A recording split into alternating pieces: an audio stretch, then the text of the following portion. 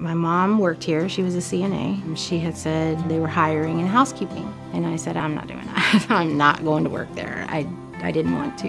After working here like probably two months, had a connection with the residents and said that I wanted to be a CNA. So I went and I challenged the CNA test three, four years, and then I just started doing other things like staffing, did administrative assistant, and then I went to nursing school, got my RN.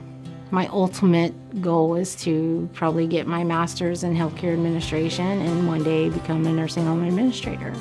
You know, that's what I tell the staff. You know, you can never have enough knowledge, and you need to want to do better. We're all like family, and we talk to each other, and we inspire each other, encourage each other.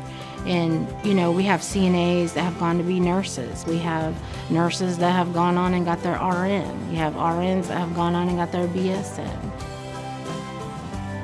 If you want to do better for yourself, don't let anybody tell you you can't. Make a goal for yourself and go for it.